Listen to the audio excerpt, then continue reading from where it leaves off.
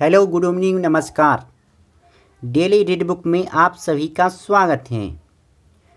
आज हम लोग स्पीडी समान विज्ञान बुक का पेज नंबर फिफ्टी फाइव पढ़ेंगे। भौतिक परिवर्तन है, पानी का उबलना। तंत्रिका तंत्र का कौन सा भाग अनैच्छिक क्रिया को नियंत्रित करता है? Spinal cord. ट्रांजिस्टर दो डैश का एक संयोजन है डायोडो का। एल्यूमिनियम प्राप्त करने के लिए किस खनिज का उपयोग किया जाता है? बॉक्साइड रक्त में आयरन का प्रतिशत है तीस से चालीस। भौतिक चिकित्सा में किन विकरणों का उपयोग होता है? गामा किरणें। वैज्ञानिक जिसने रक्त समूहों की खोज की है, कार्ल लैंड स्टीनर विद्युत धारा प्रवाहित होगी जब परिपथ खुला हो। बिजली और चुंबक का गहरा संबंध है, इसका पता सबसे पहले किसने लगाया? मैक्सवेल।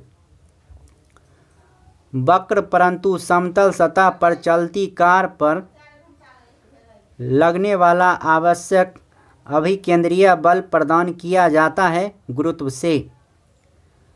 प्रकाश की चाल किस पर निर्भर होती है? प्रत्यास्था के साथ साथ जड़त्व पर। अनुचुंबकीय पदार्थ का उदाहरण है प्लेटिनम। तरल पदार्थ में उष्मा का सबसे अच्छा चालक कौन सा है? पारा। प्रशीतन में किस गैस का उपयोग किया जाता है? फ्रियोन। मौसम विज्ञान में उपयोग होता है रेडियो सक्रिय गैस। टिटनस रोग होता है क्लोस्ट्रीडियम से। अर्धचालक में भारित आवेश है होल्स।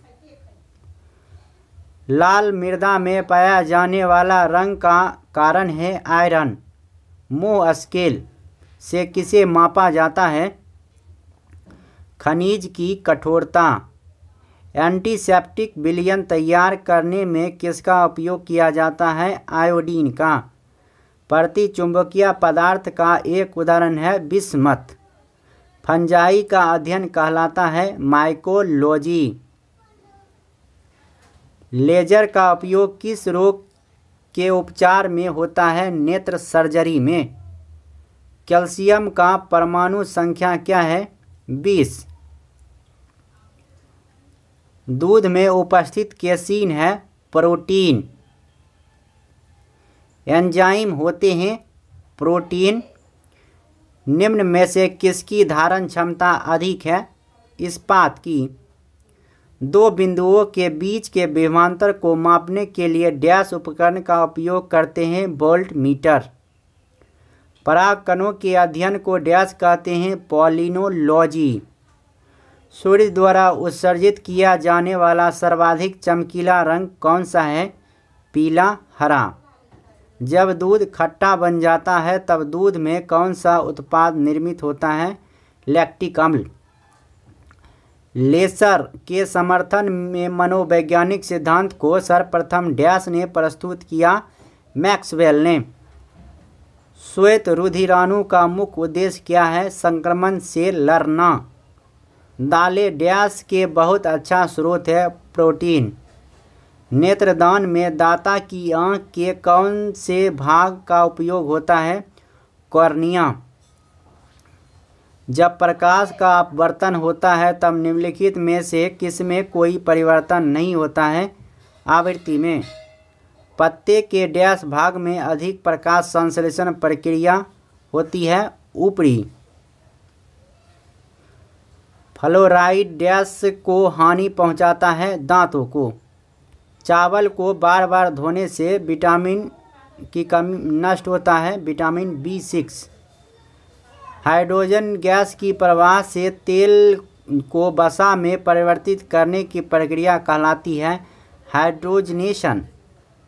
डैश धागे में आग पकड़ने की बहुत कम क्षमता होती है, कपास में। अति प्रतिक्रियाशील पदार्थ है। एल्कली धातुएँ क्रैकिंग प्रक्रिया किससे संबंधित है? पेट्रोल उत्पादन से। रासायनिक तत्व, बेरियम की परमाणु संख्या क्या है? छप्पन। तेरह प्रकोष्ठ युक्त हृदय में डैश रहता है। किसमें आता है? तेलचट्टा में। अग्निशमन में कौन सी गैस का प्रयोग होती है? Carbon dioxide. भोजन की ऊर्जा डैश में आंकी जाती है कैलोरी में। डैश से संबंधित बीमारी जानने हेतु ईसीजी किया जाता है। हृदय, चंद्रमा डैश का उपग्रह है, पृथ्वी का। जब आप टमाटर खाते हैं तो आप उसका कौन सा भाग खाते हैं? फल। सिस्मोग्राफ द्वारा क्या मापा जाता है? भूकंप। कौन सा ग्रह बलय युक्त है? शनि। खून का थक्का बनने में कौन सा विटामिन जिम्मेदार है? विटामिन के। म्यूंज मेटल किसकी मिश्र धातु है? सी यू और जेड एन की। क्लोरीन सत्रह पैंतीस और क्लोरीन सत्रह सैंतीस को कहते हैं समस्थानिक। प्रकाश की द्वैत प्रकृति किससे दर्शाई जाती है? विवर्तन और फाई फ़ोटो इलेक्ट्रिक प्रभाव से। इस वीडियो में इतना ही, फिर अगले वीडियो में अगले पेज के साथ फिर मुलाकात होगी, तब तक के लिए नमस्कार।